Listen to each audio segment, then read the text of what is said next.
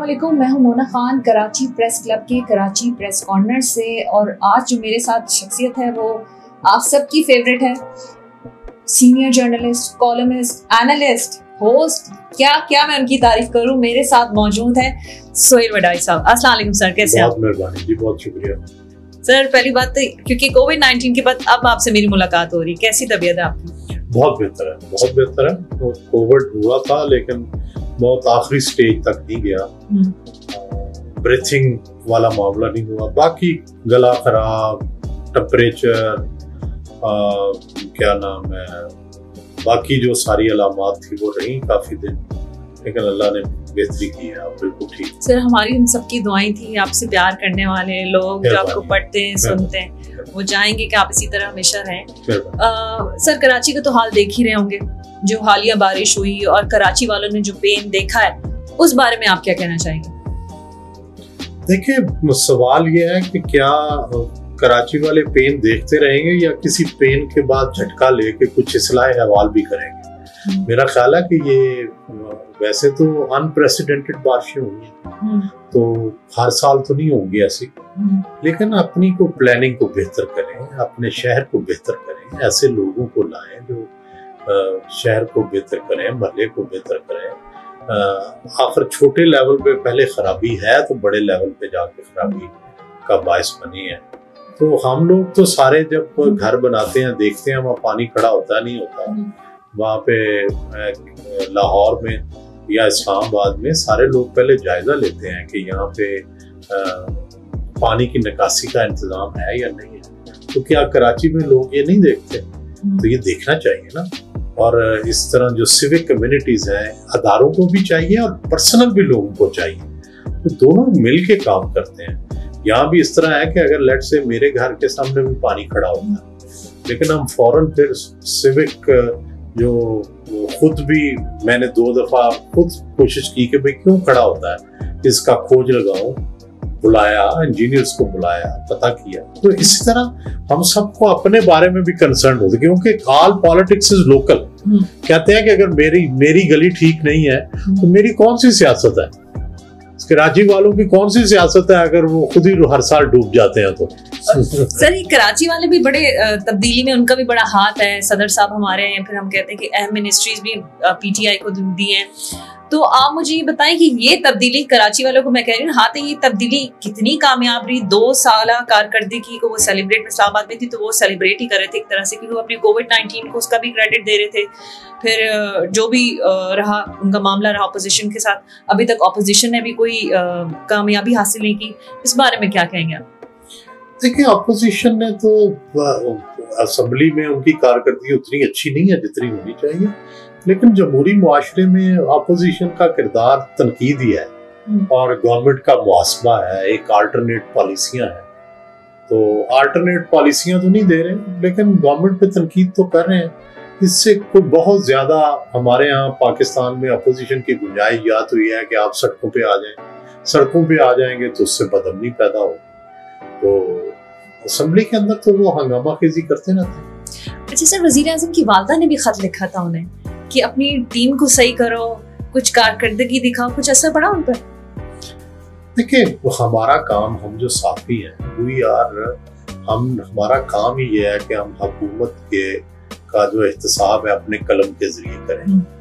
हम अपोजिशन का भी एहतसाब करें हुकूमत का भी एहतसाब करें तो उसके मुख्तलिफ़ तरीके हैं मुख्तलिफ़ बहाने हैं कि किस तरह आप अपने बात को मौसर तरीके से कह। सकते हैं जिससे किसी की तोहन भी ना हो हम्म। ना हुकूमत की तोहन हो ना अपोजिशन की तोहन हो सबकी इज़्ज़त कायम रखते हुए तनकीद करें हम्म। और उस तनकीद का मकसद भी तामीरी हो सर, बड़ी बात है, वज़ीर आला पंजाब ने आपको, आपने जिस तरह से कहा कि छोटे जर्नलिस्ट को टाइम भी दे दिया था, उसमें एक बड़ा खूबसूरत सवाल जो मुझे लगा कि आपने पूछा था फेवरेट एक्ट्रेस कौन है? तो उन्होंने कहा, वज़ीर आज़म से पूछ के आपको बताएँगे, क्या उन्होंने आपको बताया?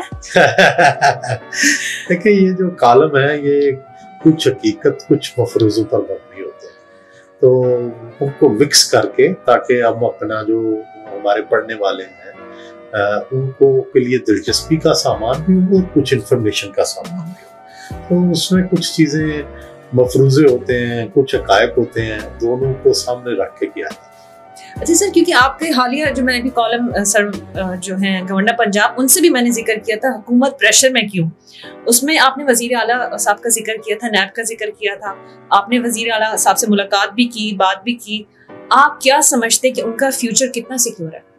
देखिए फ्यूचर तो पाकिस्तान में किसी का भी हम्म। जो इनकी कॉन्स्टिट्यूशनल टर्म है वो भी सिक्योर नहीं होती हम्म। लेकिन मेरी ख्वाहिश एज ए डेमोक्रेट तो ये है कि अपनी कॉन्स्टिट्यूशनल टर्म पूरी होनी चाहिए हम्म। लेकिन चीफ मिनिस्टर साहब को अगर नैब उनके अरेस्ट वारंट जारी कर दे जो कि खतरनाक होगा फिर उनके लिए मुश्किल हो जाएगा चीफ मिनिस्टर सर एक एक और भी चीज़ है जो मैं कुछ माह से देख रही हूँ जर्नलिस्ट प्रोटेक्शन बिल वो एक आवाज़ उठी थी आ, काफ़ी कुछ डिस्कस भी किया हामिद साहब ने भी अभी जो कुछ रिसेंट उनके शोज़ थे उस पर भी ज़िक्र किया आप क्या समझते हैं कि कब इम्प्लीमेंट होगा कब आएगा सहाफ़ी कब महफूज होंगे पाकिस्तान में हैं या नहीं देखिए अभी तो हमारा सबसे बड़ा मसला प्रेस फ्रीडम है हम्म। और फिर जर्नलिस्ट की प्रोटेक्शन है हम्म। मेरा ख्याल है कि हालिया सालों में हम जितनी पहले फ्रीडम थी उससे भी कम हो गई हम्म।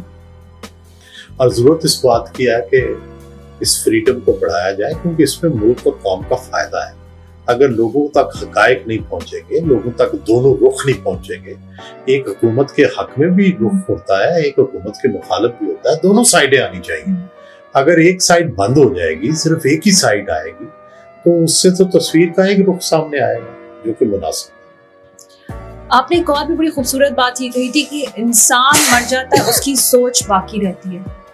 वो कौन से ऐसे इंसान है जिनकी सोच यहाँ रह गई देखें बड़ा मशहूर वो डेकार्ट्स एक फ्रेंच था उसका I think therefore I am मैं तो हूँ ही इसलिए क्योंकि मैं सोचता हूँ। जो सोचता नहीं है वो तो है ही नहीं दुनिया में।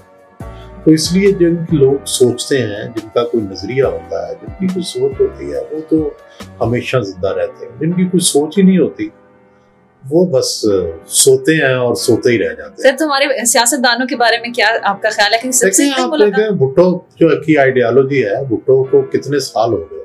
हम्म। आप उसके भुट्टो साहब के बाद आप पाँच दफ़ा तीन दफ़ा आप उनको फेडरल गवर्नमेंट दे चुके हैं छह दफ़ा आप सिंध गवर्नमेंट दे चुके हैं। हम्म। ठीक है?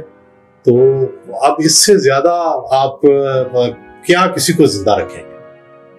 ठीक है? कि, कि एक बंदे को खुद मार के फांसी दे के और उसके बाद उसकी पार्टी को आप छह दफ़ा हम्म। इकतदार देते हैं सात दफ़ा इकतदार देते हैं। तो ये यही ज़िंदगी होती है और क्या ज़िंदगी होती है? अभी आपने एक बात की कि हमारे जो सहाफ़ी हैं उस तरह जो फ्रीडम की बात हो रही थी अब कुछ महदूद दिखाई देती है बल्कि जो आप कह रहे थे पीटीआई की दो साल कारकर्दगी में मैं अपने सहाफ़ी बरादरी को भी इंक्लूड करती हूँ।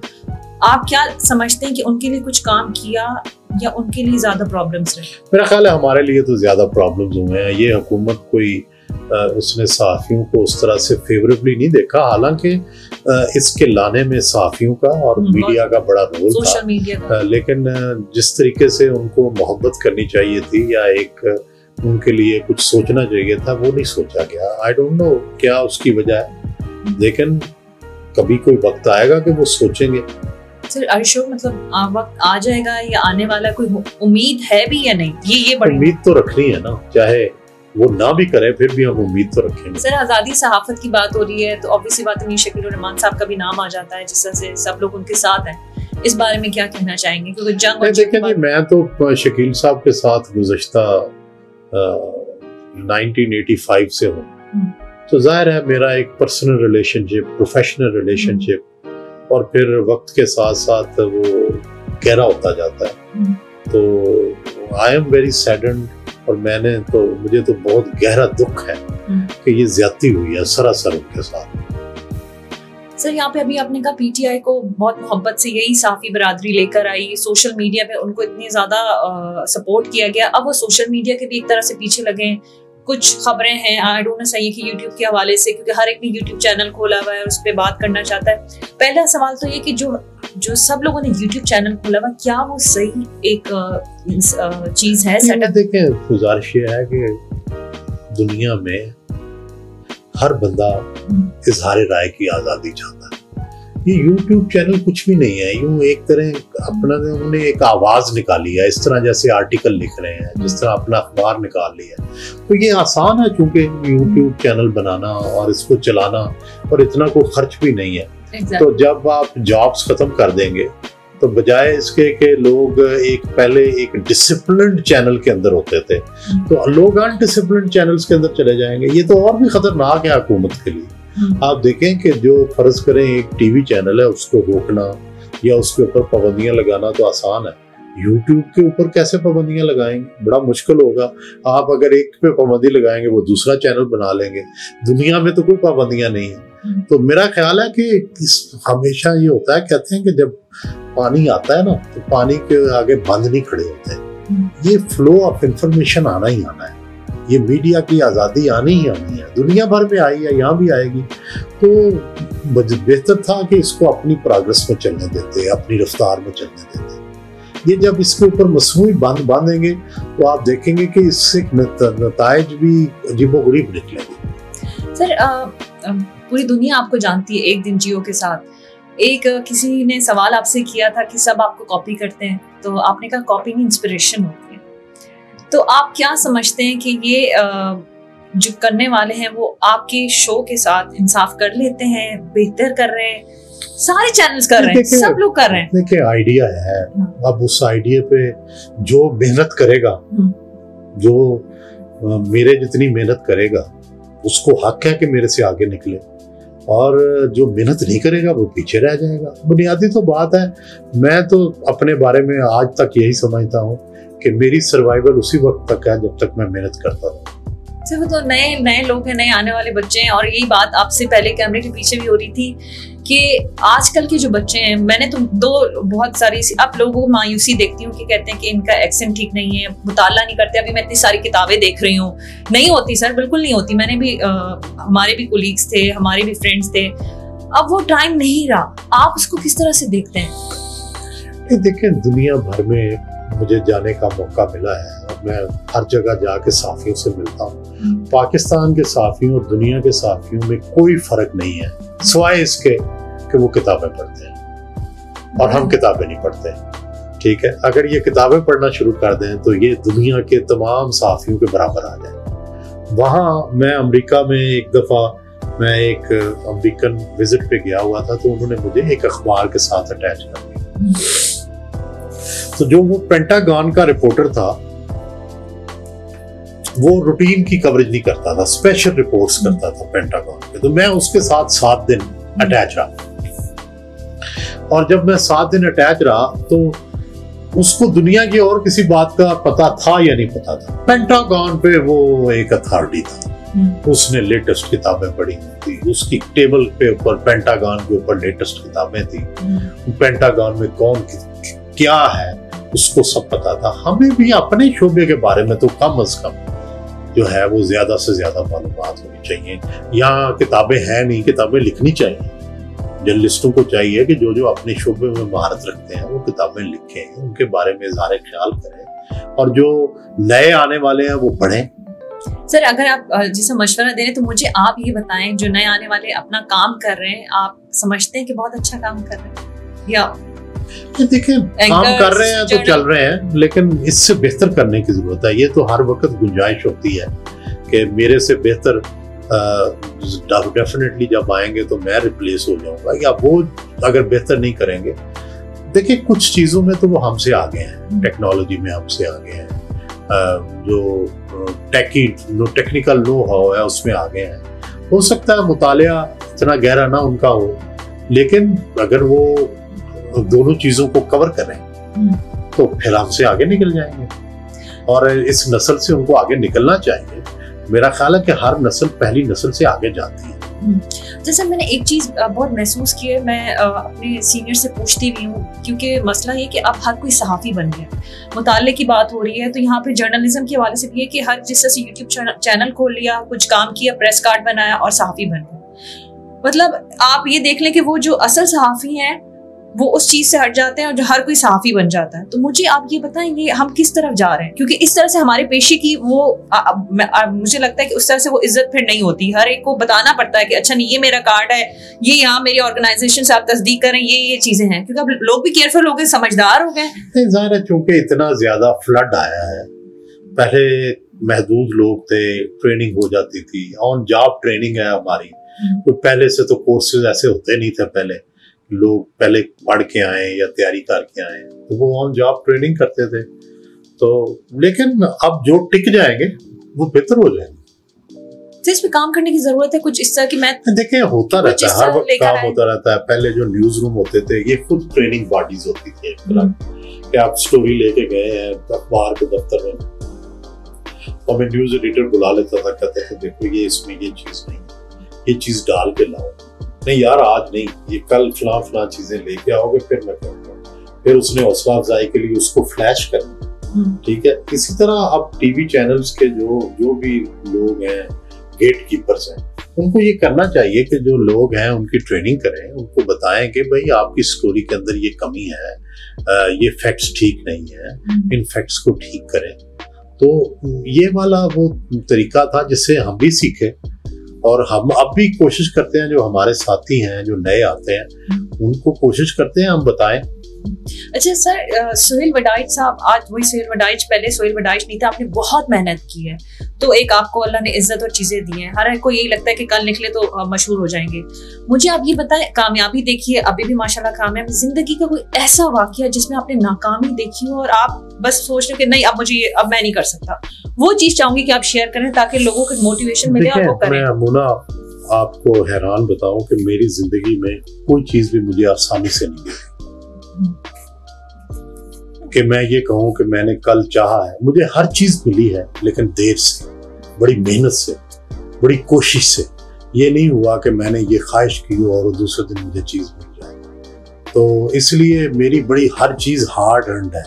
मैं आम सब एडिटर से रिपोर्टर बड़ा बड़ी मेहनत की मैंने। हम्म, फिर मैं रिपोर्टर से स्पेशल कॉरेस्पॉन्डेंट बना मुझे बड़ी देर लगी बड़ी मुश्किल आई। ठीक है?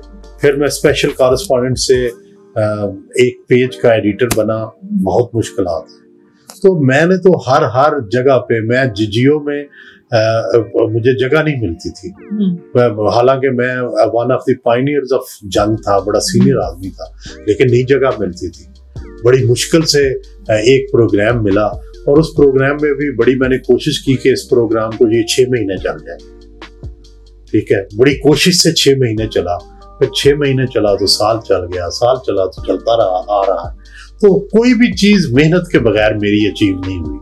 मुझे तो हर चीज़ बहुत मेहनत से मिली है। ठीक है? कोई आसानी से नहीं मिली चीज़। सर इसमें इसके पीछे आपकी किस किसका आप ज़्यादा क्रेडिट देते हैं? किसका साथ था? घर में माँ किस्मत भी है और मेहनत भी है। मैं समझता हूँ दोनों चीज़ें साथ साथ चलती हैं। किस्मत भी चलती है हम्म। और मेहनत भी चलती है। मेहनत करें तो किस्मत भी साथ देती है। कई लोग हो सकता है किस्मत साथ लेके आते हो मेहनत के बगैर आगे चले जाते हो। लेकिन मैंने तो जितने लोगों को भी देखा है मेहनत करते देखा मेहनत का फल मिलता है। ये मैं ये इसलिए क्योंकि सर क्योंकि आपके देखने वाले चाहने वालों को ये पता हो कि कोई शॉर्टकट नहीं होता। नहीं कोई शॉर्टकट मेहनत होती। है। मैं, मैं मेरा जो मैं काम कर चुका हूँ मैं वो देखता हूँ तो मुझे खुद यकीन नहीं आता कि मैंने इतना काम कर लिया और हालाँकि मैं कोई बहुत ज़्यादा तेज काम करने वाला नहीं हूँ बड़ा स्लो हूँ। ठीक है? लेकिन चूँकि करता रहा करता रहा करता रहा बड़ा आहिस्ता आहिस्ता चलता रहा मैं एक कोई भी मैं दो सीढ़ियाँ क्रॉस नहीं की मैंने। एक एक सीढ़ी पे बड़ी देर रुक रुक के मैं अगली सीढ़ी पे चढ़ा हूँ क्योंकि इतनी आसान नहीं थी। कोई मेरी पीछे से कोई बैकग्राउंड नहीं था ऐसा ना कोई आ, कोई मैं बहुत एक्स्ट्रा ऑर्डनरी था। सर सोचा था कि इतने मकाम पे नहीं, कभी नहीं सोचा नहीं, था? कभी नहीं सोचा। कभी नहीं सर मुझे आप ये बताएँ कि मैंने तो सोचा था कि सारी ज़िंदगी एक दरवेशी और फकर की ज़िंदगी है।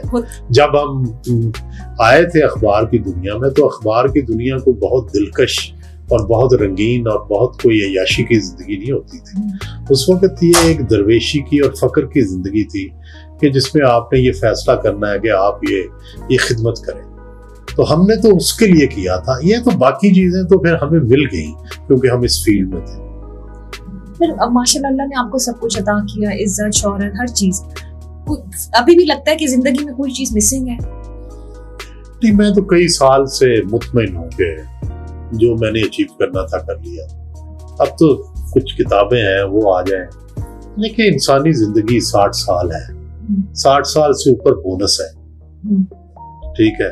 तो जितने जिस जो बंदा साठ साल जी ले मैं समझता हूँ कि उसको खुदा का शुक्र करना चाहिए और कि उसने वो एक सर्कल साइकिल मुकम्मल कर ली तो मैं तो बिल्कुल किसी भी दिन जाने के लिए तैयार हूँ नहीं लेकिन जाती तौर पर मैं समझता हूँ कि कोई मुझे हाँ। ये ये नहीं होगा कि कोई मेरे काम अधूरे रह गए या मासवा इसके हाँ। कि बच्चा छोटा है मेरा अभी या फला किताब रह गई या फला लेकिन कोई मेरे अपने जाती कोई ऐसी चीज़ नहीं रह गई कि जिसमें तो दुआ यही मांगते हैं कि यार बच्चा जरा थोड़ा ठीक हो जाए, किसी जगह लग जाए तो ठीक है, मेरी फलां किताब हो जाए। बस इतनी बात है और इसके अलावा नहीं, कोई शौक नहीं रह गया, कोई ऐसी ख्वाहिशें नहीं है जो पूरी होने वाली हो। दौलत भी अल्लाह ताला ने जितनी ख्वाहिश की है, उससे ज़्यादा ही मिली है। शोहरत भी जितनी ख्वाहिश की थी उससे ज़्यादा ही मिली सियासत में नहीं है कि सियासत में भी आज थोड़ा बिल्कुल। कहा तो होगा कि आप इतने लोग कहते हैं कई दफ़ा ऑफर्स भी हुई हैं लेकिन मैं समझता हूँ कि जो काम मैं कर रहा हूँ इसी में बस मैं मुतमिन सर क्योंकि अदब की भी बात हो रही थी मैंने कहा ना सियासतदानों से आपका इतना मुलाकातें रही इंटरव्यूज़ रहे दोस्त भी हैं कौन सी शख्सियत ऐसी आप समझते हैं कि जो इल्म से गहरा ताल्लुक रखती हो? देखिए मोहतरमा बेनजीर भुट्टो बहुत पढ़ती थी। मरीम नवाज़ शरीफ बहुत पढ़ती हैं। हमजा पढ़ता है ठीक है? भुट्टो साहब बहुत पढ़ते थे। भुट्टो साहब की लाइब्रेरी भी बड़ी शानदार थी। नेपोलियन के बारे में बहुत पढ़ते थे। तो आ, पढ़ने वाले लोग मुझे अच्छे लगते हैं। शेरबाज मजारी बहुत पढ़ते थे। तो पढ़ने वाले लोग अच्छे होते हैं।